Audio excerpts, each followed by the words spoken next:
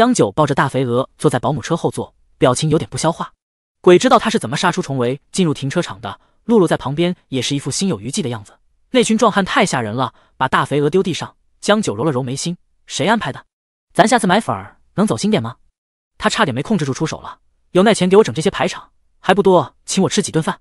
露露茫然道：“姐，这不是公司安排的。”江九抬头呆滞了三秒，指着窗外，那群大哥真是我粉丝。我哪来的粉丝？他明明只有宝藏黑粉，好不好？露露哭笑不得，解释道：“姐，你还不知道自己现在人气有多高吗？天天热搜挂着，兰姐这几笑的嘴都要合不拢了。”江九的确不知道，录节目手机都没收了，生活淳朴又平静。他这会儿才不紧不慢的打开微博，一上去消息就炸了。哦哟，粉丝都两千万了！点进自己的超话，上面的头像一水儿的红花绿叶，他本人此刻的表情就是地铁老人看手机点 JPG。超话里那些 ID 哦，他是进妖怪窝了吗？壮汉僵尸接机的视频也被人发进了超话，成了热门。最惹眼的却是那只大肥鹅，江家小甜饼，这难道是传说中的吃不完兜着走吗？好奇剩下那些村霸的下场还活着吗？武神在我床上，活是不可能活着的。江武神吃饱了，没一只鹅是无辜的。壮汉僵尸可可爱，不过武神好像被吓到了。江武神说：“姐是被吓大的，看到我帮硬的拳头了吗？”哈哈哈哈！战友们快看最新视频，前一秒江武神，后一秒小九九。简直不要太反差萌！江武神也有害怕的一天，又是几条各个角度的视频被 PO 上来，却是江九抱鹅逃窜。刚出机场的时候是狂拽酷炫江武神，看到壮汉僵尸后，表情逐渐崩坏，从杀气腾腾到猛圈到落荒而逃，前后短短十几秒而已。尤其里面一个壮汉哥哥对着他喊江武神 YYDS，江九那一瞬的表情充满了愁苦和嫌弃，语重心长中带着几分咬牙切齿的回了句：“你们也 YYDS。”这句话愣是被他说出了诅咒人的凶狠。有粉丝留言，盲猜江武神不知道 YYDS 是什么意思，粉丝们是快笑疯了，一个个宛如过年。试令生停播的阴霾也短暂的被抛在脑后。露露也看到了那条视频，不由问道：“九姐，你真不知道 YYDS 的意思？”知道啊，江九严肃道。所以最后我反击了，诅咒反弹。诅咒？露露猛圈，我觉得你理解的 YYDS 和我理解的不一样，难道不是诅咒？YYDS 的意思不是永远单身吗？江九不耻下问。露露憋着笑，明明是永远的神，好不好？江武神，江九略显震撼，抿唇，整个人深陷在座位里，看着窗外喃喃道：“壮哉我帝国文字博大精深。”他还是见识少了。车开到了家楼下，露露帮他把行李给拉上楼。这回江九没阻拦，抱着鹅跟在小姑娘身后。等到家了之后，他才叫住露露：“这几天公司出什么事了吗？”“没有啊。”江九哦了声，把大肥鹅先放地上，直起身道：“我换个问法，你出什么事了？”露露怔了下，没想到对方居然看出来了。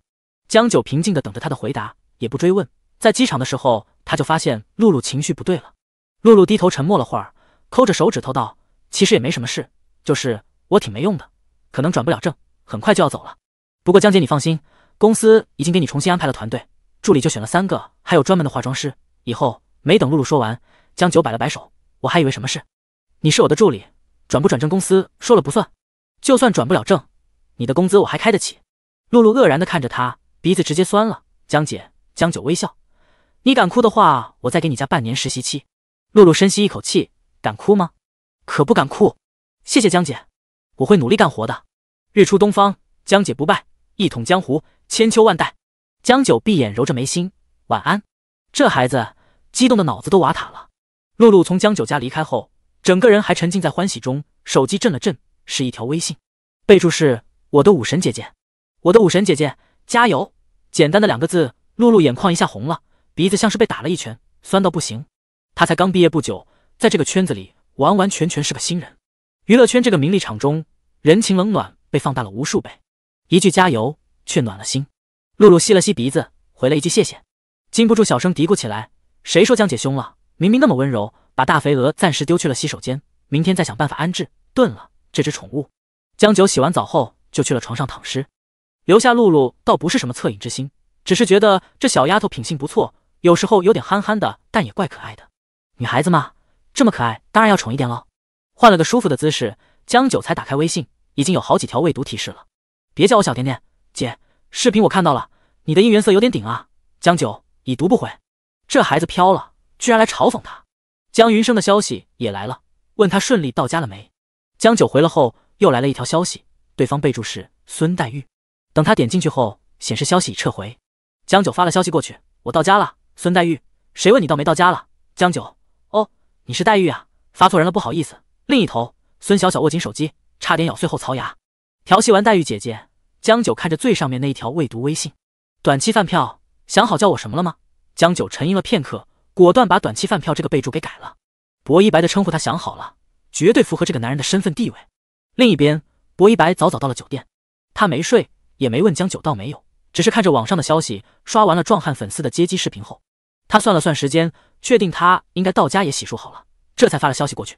微信上方一直显示对方正在输入中，大约过了三分钟，一张截图发了过来。薄一白点开，截图的是江九给他的备注，非常霸气的三个字：薄金主，小猎犬，有钱又有矿。金主绝对符合您的身份地位，小猎犬，薄金主，Y Y D S。薄一白看到金主两字时还在笑，看到后面笑容瞬间收敛，他直接把小猎犬这个备注也给改了，然后回了一条消息过去。江九都准备睡了，不料微信又响起了，他点开一看，薄金主永远单身是不可能的。江九愣了下，不由啧了声，毫无自觉的摇头道：Y Y D S 是永远的神啊，谁说你永远单身了？影帝又怎么样？照样没文化。哎，苍天是公平的。古有闻鸡起舞，今有肥鹅叫早。江九在鹅叫声中醒来，只睡了三个小时，怒去洗手间拔了对方三根鹅毛泄愤后，他开始日常的晨练。锻炼完洗个澡，吃完早餐后就去了公司。天风娱乐的大厦在北城 CBD 区，江九一出现，立马收获了许多热情的招呼声。拍胸图前，他来过一次，那会儿旁人见他绕路三米，现在见他人气暴涨，又贴了过来。江武神目不斜视，谁也不理，直奔兰姐的办公室。他一走，有些人就憋不住了，拽什么拽啊？真当自己成一线了吗？虚假繁荣罢了。看他嚣张几天，尾巴都要翘上天了，以为自己搭上了博影帝了不起，也没见别人在微博上怎么搭理他。哼，人家手段可高着呢，何止搭上博影帝一个人？这几人刚说完，就见一道身影又折返回来，正是江九。他吭哧吭哧大步直接走到他们面前，嚼舌根的几人脸色骤变。江九目光在他们脸上兜了一圈，瞧着挺年轻，也面生。应该是公司的新练习生，名字？他径直问道。三女面色慌张，想要解释，但江九的气势太迫人了，他们甚至怀疑自己敢废话一句，对方就会一巴掌把他们牙给打飞。不得不说，江武神的铁拳警告是很多人的阴影。庞秀妮、王庆、李真真，江九满意的露出微笑，很好，你们的名字我记住了。三女，江九依旧和蔼可亲，加油，等你们正式出道后，我会让你们知道我有多了不起。说完。没管三个小菜鸡的反应，他转身走人。进了兰姐办公室后，对方已经知道他来了。江九开口道：“助理，我只要露露，以后我身边的人事调动我说了算。”兰姐噎了下，瞪着他：“你翅膀硬了？”江九手臂弯曲，掌心朝下，比划了个翅膀的造型，手掌扇了扇，撇嘴道：“还行，暂时还飞不起来。”兰姐翻起白眼：“你还真想上天？不是让你休息好了再来公司吗？生前何必久睡，死后注定长眠。”兰姐。江九咳了声，我严肃点。兰姐现在拿他是真没辙，狠狠数落了他一顿，当做发泄，这才说起正事。你要想留下露露就留下吧，反正公司那些高层现在估计连屁都不敢放一个。兰姐意味深长的看着他，你这丫头藏得够深啊。江九疑惑，我藏了私房钱，你都知道。兰姐彻底炸了，忍不住动手挠他，还装。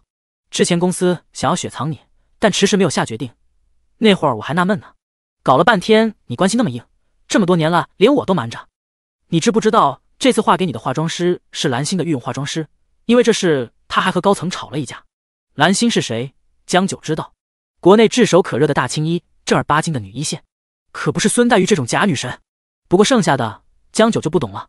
听上去，公司高层里有我的后台。江九挑眉，有意思。我自己竟不知道。兰姐是真分不清她是装傻还是真傻了。你认识风铃吧？谁不认识他？天风集团太子爷江九眸子微眯，隐约记得这人好像和自己是有点关系。原主是华艺表演系毕业的，对方高他两届，就读的导演系。当初在学校的时候倒是合作过话剧，当时风铃对江九还算关照。那时候江九已经签约天风娱乐了，不过风铃毕业后去了国外，两人倒是再没怎么联系过。这么一回忆，江九倒是想起了一些奇怪的细节。他眸光微动，他帮了我，算是吧。兰姐微蹙了下眉。风铃回国了，直接上任天风娱乐的 CEO，更是在高层会议上点名要力捧江九，把蓝星的御用化妆师分给江九，也是他的授意。不过在兰姐看来，这么高调的做法，简直就是替江九拉满了仇恨值。他算我师兄，上学时有过些接触，后面没联系了。江九淡淡道。兰姐听完也没再追问什么，反正不管怎样，有资源总归是好事。你既然闲不住，那就工作吧。顺便告诉你个好消息，凶徒能上映了。江九眸光一亮，当真？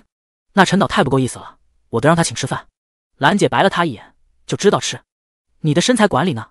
凶徒官博那边已重新启动宣传，搞了点宣传片出来，目前反响不错，你的热度很高。另外，魔秀杂志邀请你和博神拍一套双人风，我联系过那边了。博神那边没问题，江九忍不住了。我的意见呢？万一我有问题呢？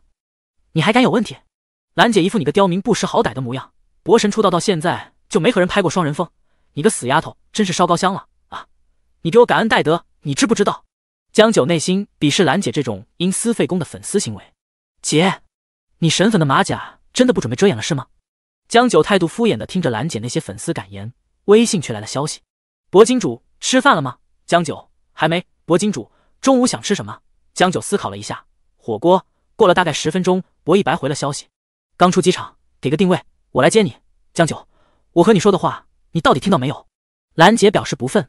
江九一看他那气呼呼的样子，坏心眼顿起，听到了，不过我要去吃饭了，有人请客。谁啊？江九叹了口气，微笑道：“一位需要我烧高香、感恩戴德的大好人啊。”兰姐瞬间变色，亲密的搂住江九的胳膊，九儿啊。姐刚刚草率了，没吓着你吧？吃饭带上姐一起怎么样？江九双手插兜，谁也不爱吓着了，所以接下来我需要静静。半个小时后，江九在兰姐幽怨的注视下离开。一出大厦，他就看到了那辆熟悉的大 G。车窗落下来，江九看到了薄一白，招了招手就要过去，忽然感觉背后有人靠近，朝自己的手腕抓了过来。江九条件反射，顺势擒住对方的爪子，捏住手腕一个反折，一声痛呼响起，男人叫道。学妹，是我。江九看着男人，表情冷漠又无情。你哪位？风铃。风铃身高一米八，相貌俊朗，西装革履，带着一种精英人士的干练。此刻他揉着手腕，笑容牵强，语气有些抱怨：“两年没见而已，学妹你就不认识我了，是不是有点过分？”江九自然认出对方是谁了，不过既然动手了，还是装作不认识，正当防卫比较好。尤其吧，他不太喜欢风铃看自己的眼神，太具侵略性，像是看着猎物。我给你也借过钱吗？风铃被这问题搞得一愣，这是什么脑回路？显然他没领悟到这句话的深意。我也给你借过钱吗？不然凭什么要记得你？江九看了眼他的手腕，医药费我出。风铃皱了皱眉，有片刻不悦，但很快又变回风度翩翩的样子，笑道：“你一个小姑娘怎么可能伤了我？哪需要什么医药费？”江九眨了眨眼，觉得这人可能是刚从村里出来的，还是说孙黛玉的热度太低了？居然还有人觉得他的爪子是鸡都拎不动的纤纤玉手吗？既然不需要医药费，那借过。风铃右侧一步挡住去路，蹙着眉微晕道：“我是风铃，你真忘了我了？”江九美目微眯，正要开口，眼神微讶的看着他身后。风铃感觉光线好像暗了点，自己像是被照进了阴影里，下意识回头，冷不丁对上一双冰冷的眼眸。对方并没看他，一言不发，却给人极强的压迫感。风铃个头也不算矮，可与薄一白站在一起吧。一米九对一米八，十厘米的身高压制他，瞬间像个弟弟。再看那颜值和气质，哎，还是个吃猪饲料长残了的弟弟。江九看着薄金主那张不近人情的俊脸，心里就一个字：绝。薄一白不饿吗？江九，呃，薄一白去吃饭了。江九点头，愉快的和他一起离开。全程两人都把风铃当做空气。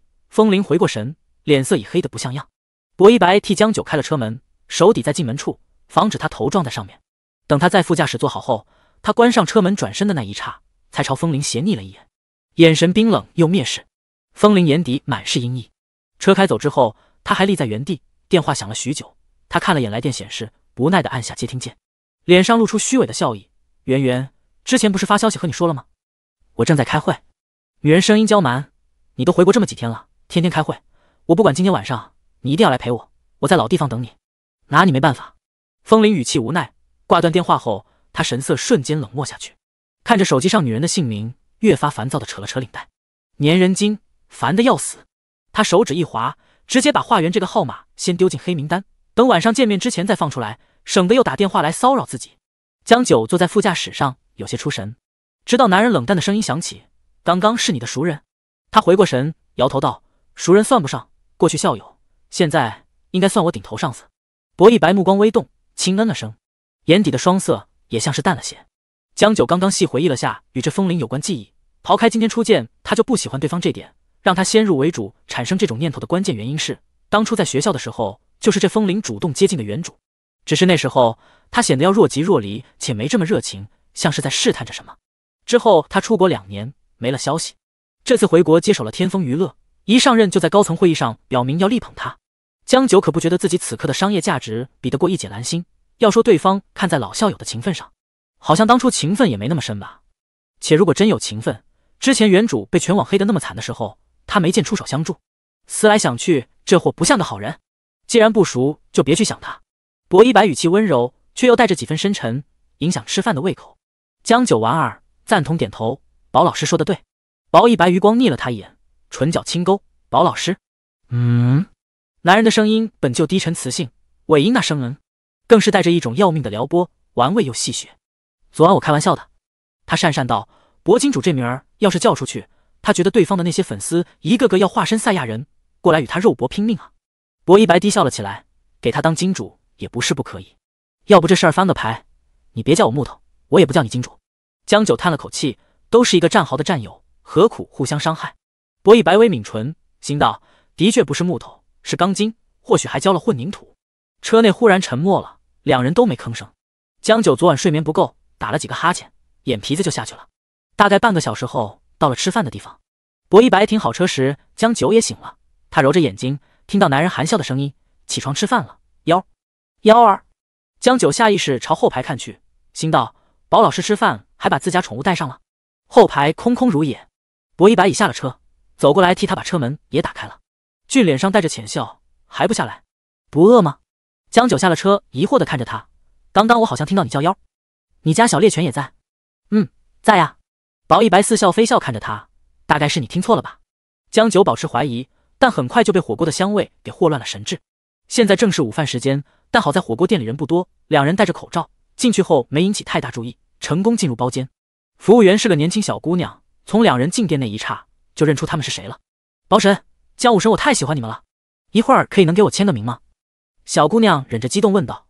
薄一白笑着点了点头，语气温和：“等先点了菜再签名吧，有人快饿睡着了。”小姑娘看了眼江九，强忍住笑。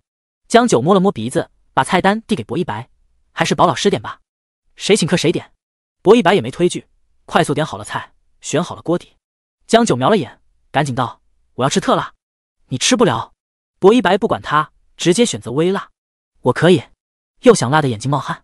薄一白偏头看向他，眉梢微挑，真是人菜瘾还大。上次一个中辣的锅底就吃得他汗腺泪腺一起发作，特辣，还不得去医院。江九拒不承认自己吃辣方面的菜鸡水平，抿了抿嘴，不太甘心的哼哼着。行吧，将就下你，谁让你胃不好？薄一白左手转了下笔，笔尾轻轻在他额头上敲了下。行，将就我，语气里满满都是无奈。小姑娘在旁边屏住呼吸。眼神有点疑惑，又有点发现了新大陆的惊喜，拳头都握紧了。等他接过菜单后，离开包间时脚还有点飘，最后实在是没忍住，回头对江九和薄一白握拳比了个打气的动作。一杯白酒，天长地久。事实证明，博神是有先见之明的。呼，似乎江九辣得直吸气，又控制不住往嘴里塞肉。薄一白哭笑不得，还是换个鸳鸯锅底吧，微辣而已，辣的他眼泪都要出来了。我听桑田说，吃火锅不能吃鸳鸯锅。活人吃红锅，死人吃白锅，吃了鸳鸯锅，阴阳不分割。江九不断摇头，使不得，使不得。说完就是满满一筷子肥牛入嘴，啊，美味啊，太辣了！薄一白着实无语，为了吃都开始说胡话了，主动宣扬封建迷信，准备当法外狂徒了。薄一白打趣着，帮他倒了饮料。江九来不及说谢谢，先灌下一杯解辣，抽空回道：“那不至于，我这个情节不严重，个人行为祸害自身，不构成违法犯罪。”我任你泥足深陷，总归不道德。薄一白笑逆向他，江九筷子一停，瞄了他一眼，果断夹起一大块肉放他碗里，右眼一个 wink，一起沉沦，一起罪恶，就不存在不道德了。男人眸色深了几分，看着碗里那块肉，竟难得有了食欲。余光见他吃的一脸幸福，薄一白不觉勾起唇，真好奇你吃那么多都消化到哪里去了。大胃王这种人设现在很多，但那也仅仅是人设而已。正常人的胃都有个容量，可江九。是的的确确能吃，吃饭前要有多细，吃完后还是那样子，就像身体里有个异次元空间一般。其实我有特殊能力。江九半真半假的说道：“吃的饭越多，身体就越强壮。他说完，举起手臂，比了个大力水手的动作。一般人我不告诉他。薄一白自然没当真，不过后面那句话倒是让人心情愉悦。这么说来，我不是一般人。江九点头。那当然，咱们是战友，是铁子啊。薄一白，薄影帝的笑容略显凉薄。哼，下一次他绝不会再问这种问题。无语过后，又是无奈。见他埋头猛吃的小样，又没办法，只能替他把碗里夹的满满都是肉。多吃点饭，努力发育。他意味深长道，顺便把情商也发育一下。你也多吃点。江九给他也夹了一筷子，话语顿了顿，改改你那刁钻的千金大小姐胃口。千金大小姐这个梗真的要过不去了。薄一白手撑着额。无奈想到，是不是自己也该主动洗白一下？外间忽然响起敲门声，两人还以为是服务员，说了请进之后，却是两个陌生人，看样子像是一对情侣。博神，我们是你的粉丝，能和我们签名合影下吗？薄一白略作沉吟，签名可以，合影就算了吧。他不太喜欢和人同框。替小情侣签完名后，两人离开。江九竖起大拇指，国民度杠杠的。薄一白瞪了他一眼，刚要坐下，敲门的又来了。两人对视了一眼，果然不然。又是来求签名和合影的，短短十分钟之内就来了五波人。江九拿出手机打开微博，果不其然看到了新鲜热搜：井号偶遇薄一白，井号井号薄一白，江九吃火锅，井号薄神小娇妻，南西路三十八号云上火锅，桃夭包间，博神和江九在一起吃火锅，签名到手，真的太幸运了。这条微博下瞬间聚集了大量网友。哎呀，同在北城，这家火锅昨天才吃过，呜呜，错过了，魂穿一个博主，有毛病吧？朋友正常聚会吃饭，这样把地址发出来好吗？理智追星，别打扰私生活。OK，吃个饭都不让人亲近。送走又一个来要签名的粉丝后，薄一白回头就见江九在风卷残云般的进食，真真是三下五除二就把菜给干光了。他抽出纸巾把嘴一擦，严肃道：“情报泄露，战友，咱们要撤退了。”薄一白点了点头，这情况的确是不能再吃了。他出去买单之后，两人火速撤离。网上闹的是如火如荼，一些粉丝羡慕能和正主偶遇。闹着要去云上火锅打卡，还有些理智粉则谴责这种 ripple 行为。不过这里头最开心的还是白酒 CP 粉了啊！两位神仙关系是真的铁啊！白酒一家亲，感情是真的。话说博神这么多年，也就和江武神传过绯闻吧？啧，忽然有点期待白酒变质。楼上劝你善良，绯闻从何谈起？从化学角度说，白酒都不可能变质，只可能挥发。两位神仙都独自美丽，姐弟情可以。爱情大可不必，姐弟，楼上在说什么飞机？宝神比江武神大吧？朋友两颗冲浪吗？虎口村孙晓和云生的爱情故事了解下，江思和神粉之间的关系一直都很和谐。不过白酒变质这种言论出来，还是引起了个别粉丝的不满。至于江九的宝藏黑粉，当然也不甘示弱了。江九人设崩塌了吧？侍令生李爱惜粮食，私下吃饭狂点几十份菜，没吃完就走，不是铺张浪费。建议博神远离这种货色，爱惜羽毛。这些言论一出来，粉丝立马杀到，喷的黑粉是体无完肤。其中一个 ID 格外惹眼，一杯白酒天长地久。现在的无脑黑真多。你在现场，你知道江武神没有吃完。很快，一杯白酒天长地久就在自己主页发了帖子，上面有江九和薄一白的签名，还有三人合影，正是负责给白酒两人点菜的那个服务员小姑娘。照片上还配了文：一杯白酒 SCD，我已经说腻味了。用江武神的话回敬某些黑子：九年制义务教育读完了吗？你妈知道你上网冲浪不带脑子吗？两位神仙都很平易近人，别再说博神不喜欢笑了。明明他面对江武神的时候一直笑，好不好？再说个好玩的事情，原来江武神不能吃辣，但人菜瘾大，还想搞特辣，最后在博神鄙视的眼神中选择了放弃。江武神还吐槽博神胃不好，绝不承认自己菜，哈哈，太可爱了。两人关系是真的好，火锅的确吃到一半就走了，因为来打扰的人实在太多了。不过真的都吃完了，浪费是不可能浪费的。江武神的胃口还需要怀疑，走的时候还在念叨自己没吃饱，好不好？呼吁大家以后遇到江武神吃饭，安静离开好吗？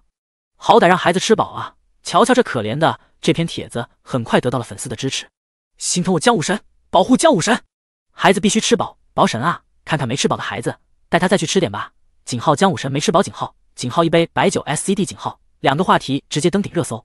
除此之外，还有一个话题悄然出现：井号流云换角井号。流云这部古装剧原定主角是魏安然，不过他现在是真的臭名远播，砍伐一级保护树木这事他事先的确不知情，团队倒能想法子给他洗。可他粪池炸弹的画面杀伤力太强了，他那名字一出现，所有人的第一反应就是哦，试问谁家电视剧还敢用他？代言商也全部溜了，最惨的还是那些食品代言，销量惨遭滑铁卢不说，股票都跌了。在井号流云换角井号这个下面的却是另一个热搜：景浩最美攀岩女神景浩，李天元发上网的视频被人转到了微博，火速吸引了大批网友。视频里，女人单手挂在断崖边缘，周身被朝阳的光芒填满的画面，震撼了所有人的心。太美了，太强了，这个女人要上天！网友们纷纷表示：五分钟之内，我要看到女神的正脸。两位娱乐圈在逃神仙，在大批粉丝杀来之前，成功逃离火锅店。江九坐在车上还忍不住摇头。难怪你胃不好，就这阵仗，出门吃饭是不可能的。就算吃，估计也吃不饱，不至于每次都这么夸张。薄一白摇头，看了他一眼，没吃饱的话，再陪你吃一点。算了，江九觉得再去吃，指不定还是这结果。更何况你下午没工作吗？薄一白嗯了声。你呢？有什么安排？江九表情微窘，回家喂鹅。薄一白忍着没笑，送你。江九住的地方在老城区，非常朴实无华一小区。这套房子也是他外公的。就北城这房价，以他目前的存款，大概只够买厕所，还要看是哪个区域的厕所。江九也没明白，说好了送他回家，怎么这男人自己也跟着上来了？借用下洗手间这个要求，拒绝了，好像也有点不近人情。不过显然洗手间是借用不了的。江九和薄一白面无表情的站在洗手间门口，洗手间里堪称人间炼狱。那只村霸凭一己之力挣脱了束缚，撅着屁股，雄赳赳气昂昂的与门口两人对视，嘴壳子一张，嘎嘎嘎咯咯咯一阵乱叫。仿佛在说：“你们两个愚蠢的人类。”三秒过后，江九捂住嘴。哦，薄一白也有点目不忍睹。这是鹅吗？生产队的牛都没他这么能拉的。这味儿，我不行了。他是不是魏安然的兄弟？江九脑子里又出现了魏安然的经典画面。薄一白脱下外套，松开袖口的纽子，将袖子挽了上去，对他道：“你先去休息。”江九一把拉住他：“别，这肥东西我来收拾就行。你还是算了，今天我就把他送走。”薄一白哭笑不得，你就盼着这机会把他送进自己肚子，对吧？自己发过的誓忘了？江九蒙女语塞，吃个鹅咋那么难？楼下有个宠物店，你先去买个笼子，听话。薄一白拍了下他的头，轻轻揉了揉。江九眼神表示谴责，怎么又动手？买个笼子也要不了多久，那只大肥鹅也的确得找个笼子先关起来，太能造了。江九没墨迹，最多十分钟，我马上就回来。十分钟之后。江九把宠物店最大号的狗笼子拎回了家。回家之后，他闻到了沁人心脾的 Six God 的香气，屋内再无半点异味。大肥鹅被绑腿绑嘴，屈辱的丢去了阳台，小眼神显得格外怨恨。人类，你们在造反！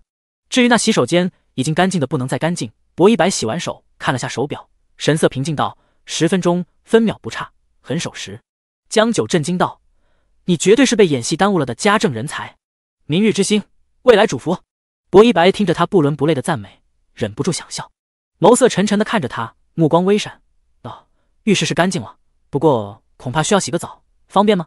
江九，您都这么大牺牲了，我拒绝倒显得不仁义呢。随意，当自己家就好。需要浴巾吗？好。薄一白轻笑着，眼底笑意狡猾。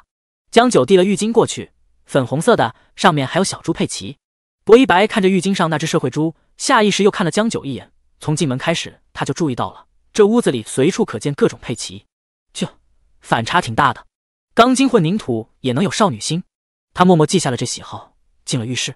等浴室里水流声响起，江九眼神才晃了晃，朝浴室瞄去，小声咕哝道：“这时代的男人胆子可真大，这么放心去别人家洗澡，也不怕洗出问题。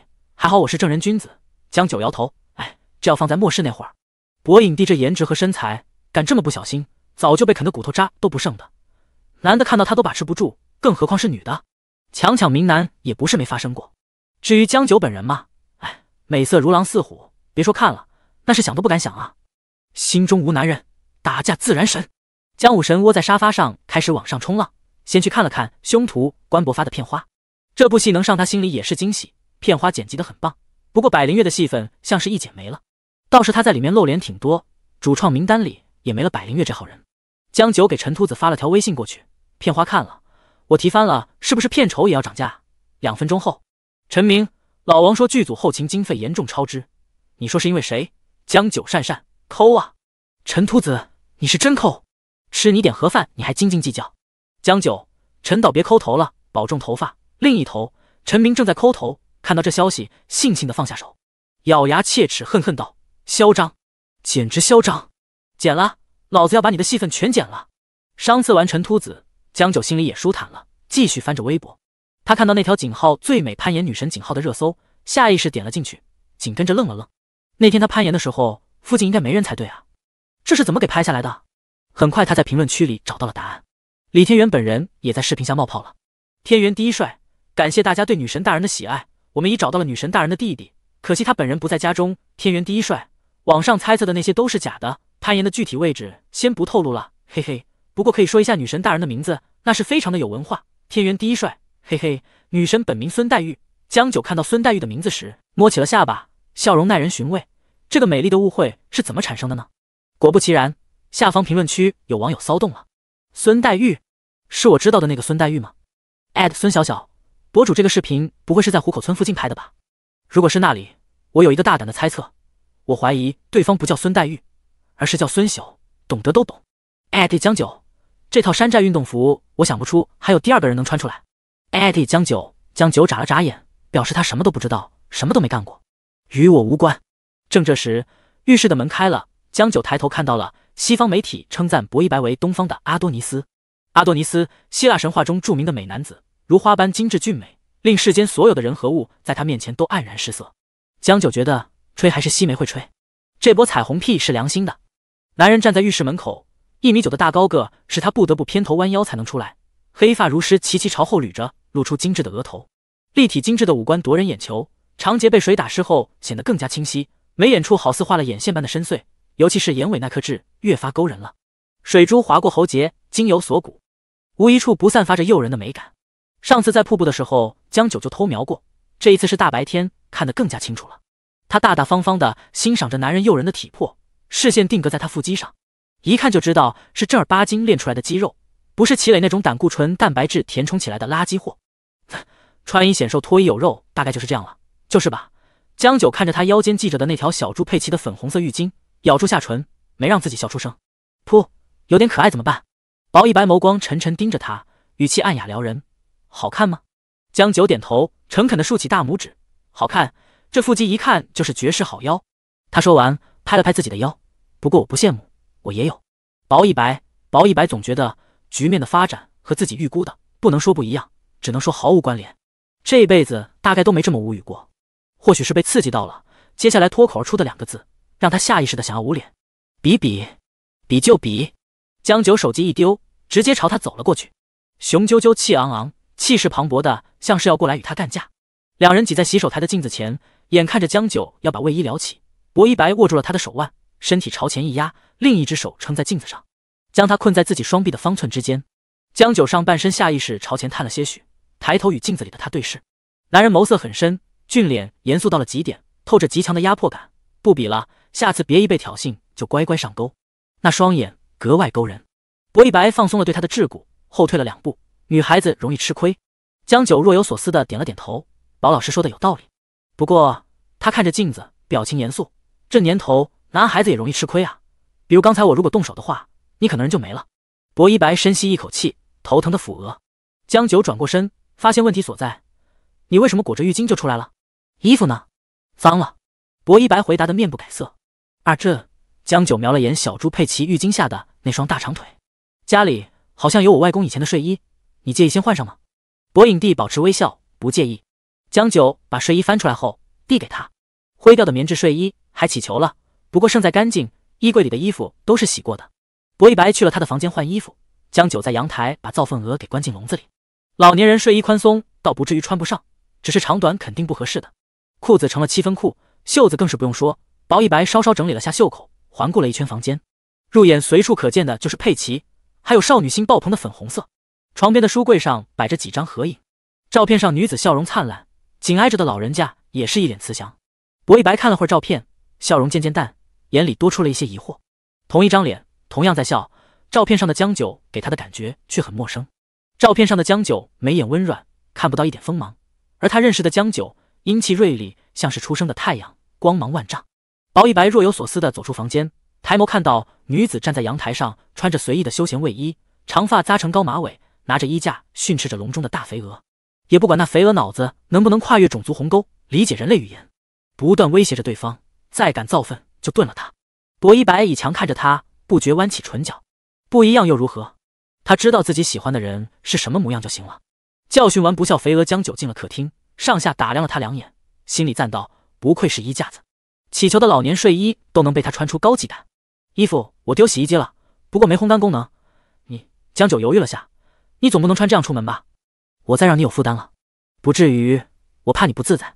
江九说完，见他坐在客厅削起了苹果，有点想收回刚刚的话。这男人简直不要太自在了。薄一白削好苹果后，轻声道：“拿个盘子和叉子过来。”江九无语良久：“大小姐啊，你这生活太细致了，直接啃不好吗？”他忽然觉得自己就是个糙汉。糙汉默默拿了盘子。千金大小姐把苹果切了片，每片一个宽度，摆盘也很整齐，看上去像个重度强迫症。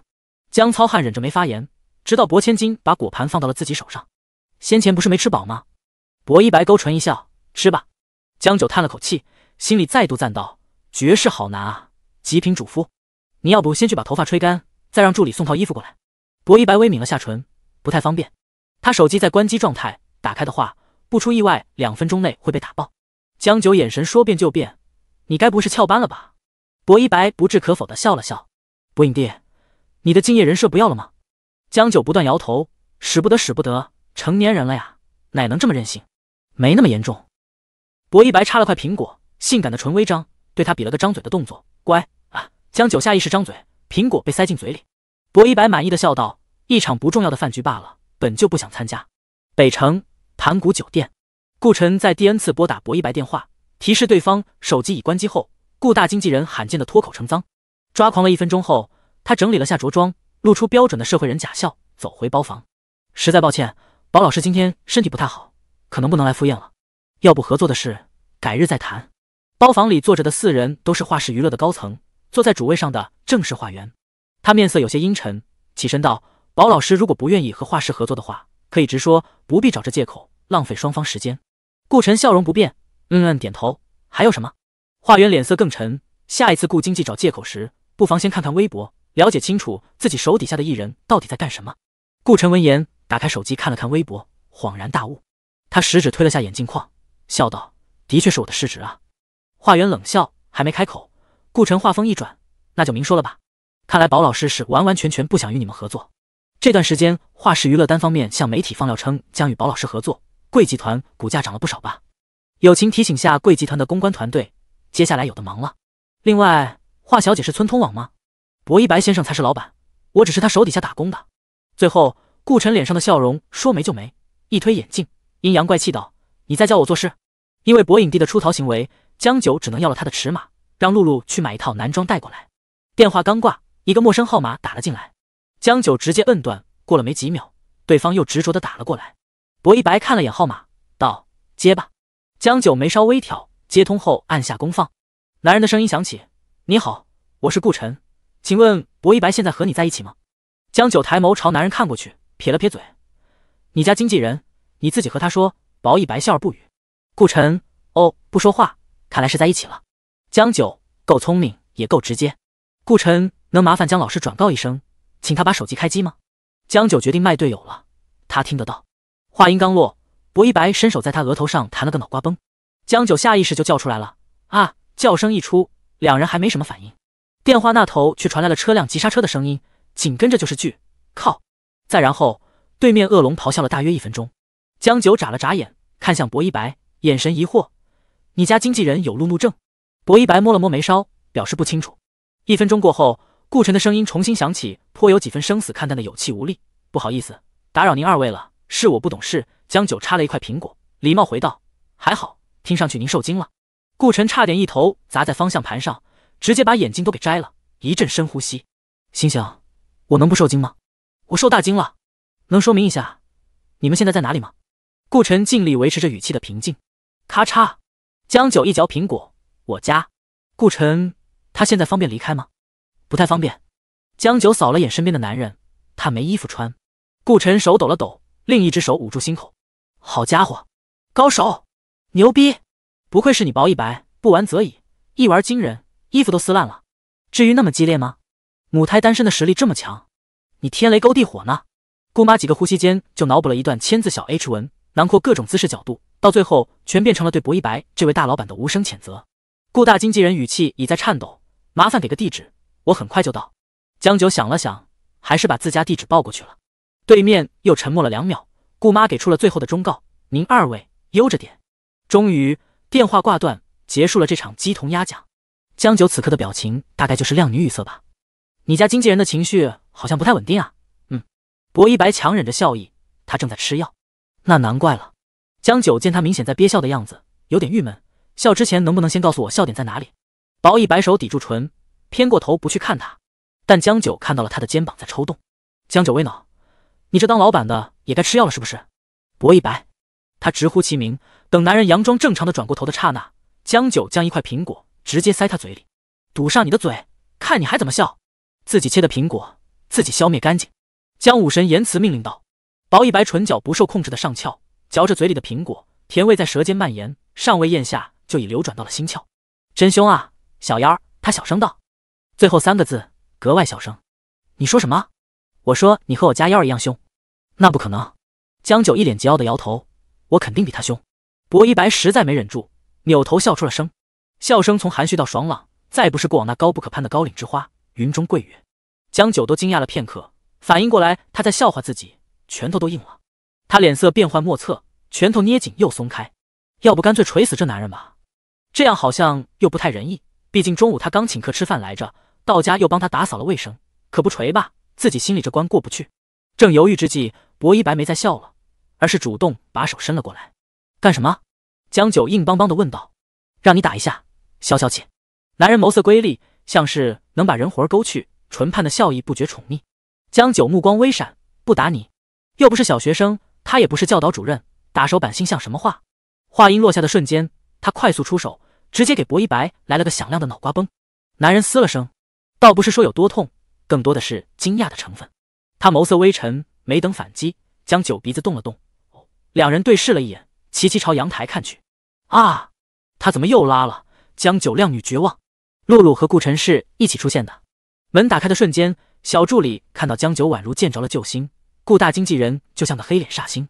他冲江九颔首道：“打扰了，请进吧，不用脱鞋。”江九点了点头，主要没那么多拖鞋给人换。两人进来之后。顾晨下意识的寻找薄一白的踪影，但只听到了浴室里的水声。他沉默了片刻，问道：“我是来早了吗？您二位刚结束呢？不早，刚刚好。”江九坦然回答。顾晨看着他坦荡清明的眼神，有点震撼了。很好，不愧是能拿下薄一白的女人。过去是他看走眼了，这是一位狠角色，果然是干大事的。露露全程不敢吭声，有一种自己知道了大秘密的紧张刺激感。乖乖，是博神在里面洗澡。难道江姐和博神是我想的那样吗？不，不花钱也能知道。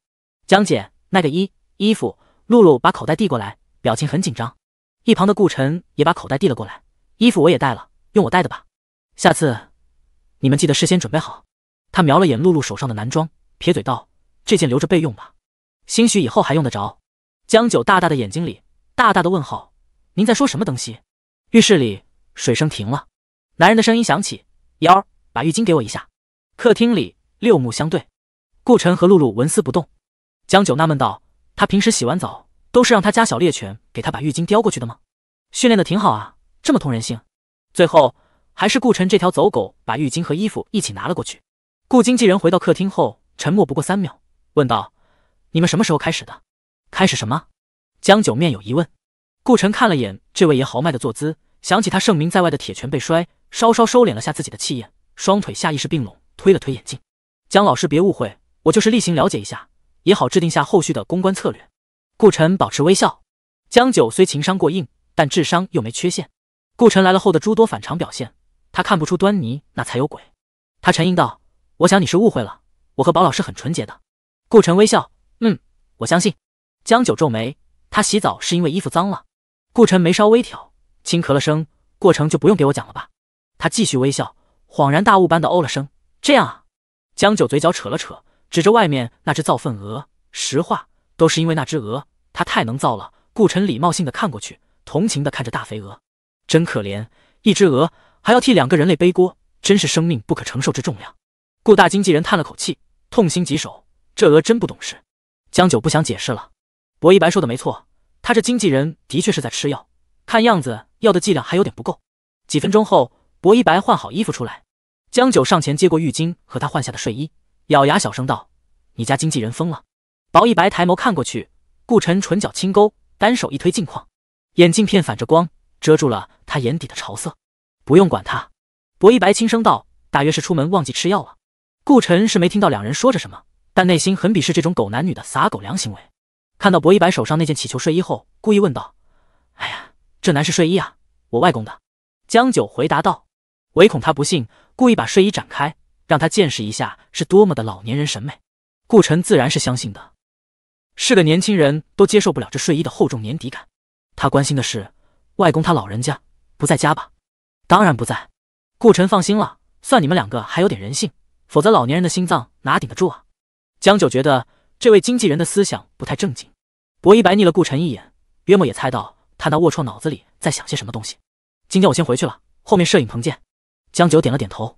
那只鹅，薄一白朝阳台看了眼，忍俊不禁道：“需要我帮你养段时间吗？”江九住的房子并不大，两室一厅的小蜗居，在养只造粪鹅的确有点令人头秃。不麻烦的话，那是最好的了。江九点头，他觉得这造粪鹅与自己很难和平相处，恐怕活不过两日就会进自己肚子里。两男一鹅走了，家里就剩江九和露露。江江姐，你和宝老师，你们。江九叉腰抚额叹气，是战友。露露失望了，战友情就没升华一下？江九没忍住嫌弃的表情，你们这时代的小年轻怎么脑子里只有情情爱爱呢？露露瘪嘴，怪我低级趣味喽？谁不想和宝神 GHS？姐你这坐怀不乱，不觉得自己有点问题吗？江九一脸高深莫测，摇头道：“智者不坠爱河，愚者自甘堕落。那智者干什么？”江九吞了口唾沫：“智者不坠爱河，铁锅只炖大鹅，爱河伤心难过。”大鹅暖心扛饿，后悔了，还是该把那鹅炖了。露露，你为何看上去如此失望？江九疑惑盯着他，露露垮着个脸，强撑微笑，没有，就是被震撼到了。姐，你没有心，你亲手抹杀了 CP 粉的快乐。一杯江白酒，经典永流传，流传个鬼啊！你们这杯酒稍稍起点化学反应，变质升华下好不好？停车场，顾晨将造粪鹅丢进后备箱，薄一白直接上了他车的副驾驶。顾晨上车后。问道：“你车不要了？”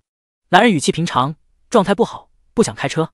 顾晨嘴角一扯：“你不对劲。”薄一白闭目养神：“你龌龊，我龌龊。”顾晨趁机瞪了他一眼：“你和江九好上了？”没有。顾晨不太相信，但眼前这男人的脾气他还是知道的。真好上了，他才不会玩什么地下恋情。只有一个可能，所以他先前说的都是真的。您这么大一影帝，主动送上门给他清理鹅粪去了？薄一白没理他。顾晨唇角一勾，眼笑眉舒，瞬间忘记来之前自己是多么暴躁，内心感慨：真是美好的一天呀！薄一白啊，你也有今天啊！这洗澡而已，怎么好端端衣服就洗没了呢？该不会是某些人故意的吧？顾晨镜片反着光，眼神带着看穿一切的睿智光芒。真相只有一个，也有你薄一白魅力失效的一天啊！顾晨眸光闪了闪，想到了一个疑点：一白啊，你家真养狗了吗？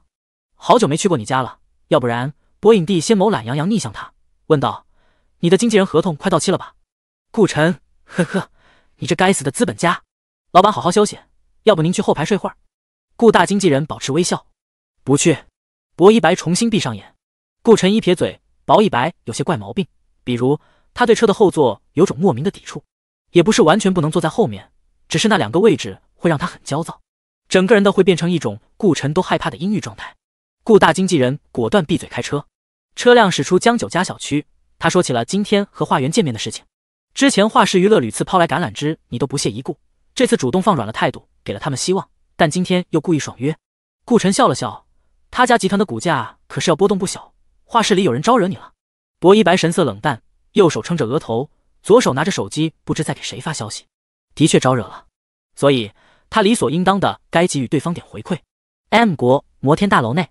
华成雄脸色难看，秘书在旁边心惊胆战道：“哈迪斯那边忽然结束合作，咱们这边的项目怕是很难维持下去。”秘书都不敢看华成雄的脸色，咬牙继续汇报。另外，国内方面，今日咱们集团和娱乐的股价都出现大幅度下跌。华成雄神色阴鸷，这边的消息不可能那么快传回国，那边到底怎么回事？秘书擦了下汗，好像好像是娱乐那边出了些问题。华成雄拿起手机给自己女儿打了电话过去。盘古酒店二十一楼总统套房内。华源接到自己父亲电话后，劈头盖脸就被一顿臭骂。今天被薄一白爽约后的愤怒一股脑全上头了，所有的怒火最后全都对准了一个人。挂断了电话，华源看着私家侦探刚传过来的照片，照片是中午拍的，正是天风娱乐外，风铃拉着江九的手，不想他离开的画面。贱人，江九，你这个贱人！华元恨得咬牙切齿，直接给李云打了电话过去。齐磊的事情，你别以为就这么过了，我不管你用什么法子，只要江九日子好过一天，你就别想有好日子过。紧跟着，他又给另一人拨了通电话过去，动手吧，我要你不计任何代价，把江九的情报全盘掌握到手。电话那头，对方笑出了声，没问题。做完这一切后，华元眼里的恨意仍旧未消，直到门铃声响起，他赶紧整理了下容色，过去开门。门打开，站在外面的正是风铃。华元一把将他拉进来，迫不及待地送上香吻。风铃眼中闪过不耐，面上还扬露笑意，将他推开，顺手关上门。圆圆，你先别急嘛。不嘛。华元蹭了上去，语气幽怨：“这么久没见，你都不想我？傻瓜，我不想你想谁啊？”风铃语气温柔的哄着他。华元眸色微动，将他推开了几分，冷着脸道：“你说呢？这么多年了，你是不是该给我句明白话？那个江九身上到底有什么值得你煞费苦心的？”风铃皱了皱眉，又是这个事情。他扯了扯领带，忍着不耐道：“我说过江九的事，你别插手。他对我来说有利用价值。他能有什么利用价值？亲爹赌鬼，亲妈给我爸当情妇。当初要不是为了你，我会同意他妈进我家大门。”华元声音尖利了起来。华元和风铃算是青梅竹马长大了，两人早早就勾搭上了。可一切都在风铃偶然遇见江九后变了。华元至今想不明白，那江九身上到底有什么值得风铃煞费苦心的？当初偷偷让天风娱乐签下名不见经传的江九，到了大学后还刻意接近对方，这两年看上去是对江九不闻不问，结果一回国又凑到江九跟前去。我都说了，我不喜欢江九。如果我真喜欢他，我会放任你出手对付他。风铃沉下眸道：“他之前那些黑料是你放的吧？”华元目光微闪：“我不懂你在说什么。”风铃心下也是厌烦，要不是风家和华家有合作在，他都懒得搭理这蠢女人。他这次回国只有一个目的。但这件事不能惊动太多人，一旦证实了，他捏住江九就等于拿捏住了一张王牌。本来江九这几年在娱乐圈不温不火的，华元一通骚操作，反倒让大众都记住了江九。这段时间，江九更是屡屡热搜，即便那一家的人再不怎么关心娱乐圈的事，发现江九也是迟早的，全都怪华元这蠢女人坏事。风铃心里厌烦的紧，但华元又知道的太多，不得不先把他给稳住，没给华元再闹起来的机会。风铃以唇封肩，直接用行动化解他心里的醋火。江九洗完澡躺在床上，手机收到一条短信，短信内容是：恭喜你被我公司选为幸运用户，奖金十万元，请点开下方链接领取奖励，尽快兑奖。江九面无表情的看了会儿，撇嘴道：“十万块，我看上去很缺钱。”他没急着点开，盯着那短信内的链接研究了会儿，起身打开了电脑。几分钟后，他笑容玩味了起来。木马监听城市，有点意思，那就玩玩。他手指在电脑上翻飞。写了一段城市后传到手机，然后点开度度搜索全球恐怖片排行，选好排行第一那部影片。江九这才点开了短信里那条链接。北城一栋居民楼里，齐梦飞叼着烟和队友开黑，瞥见电脑下方有了动静，他立马退了游戏。他是个临近毕业的大四学生，本身专业不咋样，但私下却是国内排得上号的黑客之一。鱼儿已上钩，接下来就让他看看这位私下究竟是个什么样子。当初之所以愿意接这单生意。有一部分原因也是因为对方是江九，齐梦飞还有个身份，他是百灵月坚定不移的脑残粉，凶徒又能上映，原本女一百灵月的戏份被一剪没，江九这女三却被提咖，她这种脑残粉能受得了才怪。齐梦飞戴上耳机，满怀期待的盯着屏幕，打开监听视频，屏幕骤然黑了，一张面色死白、整个眼眶黢黑的女人脸死死对在屏幕上，霸占了所有角落。那张嘴一张开，耳机里响起尖利无比的女人尖笑。像是要把人脑子给剖开一般，啊！鬼啊！齐梦飞惨叫着一蹦三丈高，激动之余，耳机线扯住电脑显示器，搅拌住主机线，一时间场面混乱到了极点。而江九本人此刻已戴上眼罩，酣然进入梦乡。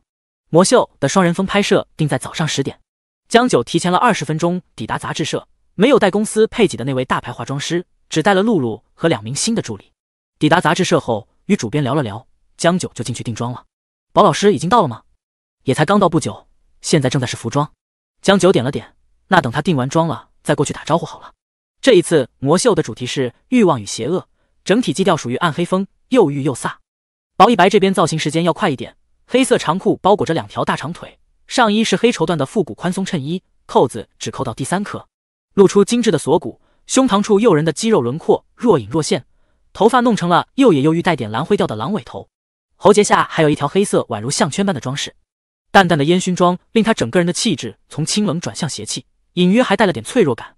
但那身材却又充斥着浓浓男性荷尔蒙的气息，有一种说不出的苍白危险，就像是诱人堕入深渊的恶魔。现场的工作人员无论男男女女都控制不住心跳加速。忽然一阵阵惊叹伴随着嘶气声响起，薄一白下意识看过去，瞳孔轻颤了一下。那一瞬间，众人仿佛看到了女王的降临，美，美到令人挪不开眼。如果说薄一白的美是邪魅惑人，撩动荷尔蒙，此刻的江九完全就成了欲望的化身。她身穿裹胸黑色长裙，裙身两侧直接开到大腿根部，雪白修长的腿暴露无遗，腰间的鱼骨腰封将那小腰勒得不堪不一握，身体曼妙到了极点，长发慵懒卷翘，精致的妆容将她本就立体的五官衬托得越发精致，顾盼之间都像勾人的妖物。她和薄一白的视线相处，两人相视一笑，那一瞬，所有人忘记了说话。他是欲望的化身。他是邪恶的主宰，两个人简直就是欲望与邪恶这个主题的具象化。摄影师激动的都要鸡叫出来了，绝了绝了！这两个人是什么绝世美貌？旁边的主编也是一副要了命的样子，兴奋的深呼吸了好几次。还没开始拍，他们已经能预测到这回的双人风妥妥要卖爆，没准还要破回销量奇迹。两位老师，咱们开始吧。摄影师按捺不住了，他的相机已经滚烫了。江九大步走到薄一白身边，他脚下的高跟鞋就有十厘米。个头直接拔高到一米八五，他眉梢微挑，深吸了口气，上层空气好像是要质量好点啊。薄一白垂眸一笑，眸色缱绻，欢迎到云端高处。云端高处没外卖。江九下颌微抬，我还是当凡人的好。薄一白笑出了声，视线里满是无奈。工作人员们都已经看呆了，这两位的关系也太好了吧？旁若无人的咬耳朵，真的好吗？一杯白酒是是真的，这回真是两个神仙同框啊！薄老师的眼神太宠了吧？确定这感情没一点变质，没一点升华？难道是我变质了？工作人员们窃窃私语。顾晨站在边上，一脸生无可恋。露露是又激动又失望。失望的是，他已知道真相，变质是不可能变质的。唉，小丫头下意识叹了口气。旁边的顾晨也刚好唉了一声。两人对视了一眼，尴尬又无奈的笑了笑，相继挪开视线，想的却完全是两回事。顾晨，男人，你控制一下你那火热的眼神。露露。姐呀，你看看博神，咱能不能来点女人的原始冲动？两位老师现在这个状态就很好啊，不过可以再亲密一点。宝老师可以稍微弱势一点，把主动权交给江老师。摄影师激动的讲着要求。摄影棚的布景也是暗黑系，旁边还有一把红丝绒的欧式单人沙发。这一期的主题本来和凶徒里两人的关系也关联。薄一白坐到沙发上之后，江九站在他背后，玉手从他脑后两侧一点点下滑至于锁骨，眼神幽冷邪魅，从侧面慢慢贴近他的耳侧。右手食指轻抚在他的喉结处，唇角轻勾，像是将要诱人堕入深渊的暗黑女妖，耳语厮磨，勾起人心中的欲望。薄一白的头朝着反方向微偏着，俊脸上没有丝毫表情，像是提线木偶，眼神中交织着迷茫与脆弱。摄影师快速按下镜头，摄影机也将这一幕完全记录下来。就在将九针手再度朝前试探的那一刹，薄一白猛地转头看向他，两人的鼻尖轻轻擦过，呼吸相触。他的眼神从迷茫脆弱瞬间变得锐利而邪恶，像是纯洁的天使坠入地狱，背后张开的黑色羽翼成为了堕天使路西法。两人的姿势纹丝不动，可气场却无比强劲，完全就是两个大写的攻在互相侵略。将九唇畔的笑意加重，眼神肆虐到了极点。眼前这个男人只是他的玩物。薄一白唇角轻轻勾起，他是他的掌中之物，却又未完全被掌控。他将他拉入堕落的深渊，又岂能全身而退呢？当与他一起沉沦才对。他勾起他的下颌，笑容邪肆又挑衅。我是你的玩物，你是我的囚徒，谁也别想逃出彼此的手掌心。摄影师疯狂的按着快门，呼吸都滚烫了。旁边的工作人员一个个面红耳赤。啊，真的太野了！所有人都给刺激的肾上腺素狂飙，这简直就是神仙打架啊！光是双方的眼神，旁人看到就已经被 A 的腿软了。摄影师都不忍打断了，真想让他们自由发挥下去。那个，宝老师能躺在地毯上吗？姜老师在上面。薄一白躺下去后。江九直接坐在他腰上，男人身体微僵了一下。摄影棚内刹那死寂。江九小心翼翼问道：“我太重了，压着你了？”薄一白眸色微暗：“不重，只是……”江九看向呆掉了的摄影师，不耻下问：“姿势不对。”摄影师回过神，二话不说，先快门一掌。这个姿势吧，也不能说不对，就是就是感觉不是免费就能看的。尤其江九的裙子本来开叉就高，跨坐下去后。臀型长腿无一不将欲望两字凸显到了极致。别说男人了，这会儿女人们看到都有点顶不住。嗯，姜老师的腰稍微直起来一点，宝老师可以稍微扶着点姜老师的腰。哎，对对对，就是这个感觉，就好像姜老师马上要把宝老师给吃掉啊！宝老师再挑衅一点，不能就这么被吃掉啊，要一起快乐。主编在旁边忍不住咳了一声。我说你是不是该冷静点？你是摄影师啊，你怎么还刻上了亚维？摄影师丹尼斯才不管呢，他本来就是外国人，这些在他面前都算不上尺度，还可以更野一点。期间又换了几套造型，最后的一场造型，两个人身上都穿着黑色的睡袍。整个拍摄过程可以说丝色滑气顺满畅满，只是最后一张片，丹尼斯始终不太满意。宝老师坐在沙发上，姜老师就横坐在宝老师怀里就好。单人沙发上，江九坐在薄一白怀中。一天下来，像这种亲密接触不知有多少次了。只是这一回明显有些不同。睡袍很薄，他能明显感受到从他身上传来的热度。江九感觉到了什么，下意识抬眸，眼神有点惊讶。薄一白眸光有瞬息的变化，薄唇微抿，却没有回避他的视线。四目相对间，其他人似乎都成了虚设。时间被拉缓，变得漫长一些。一种难以形容的氛围感萦绕在两人之间，像是疯狂欢愉过后的平静。眼中只有彼此，无人可以插足。丹尼斯反射性的按下快门，实在忍不住道：“宝老师，吻一下江老师吧。”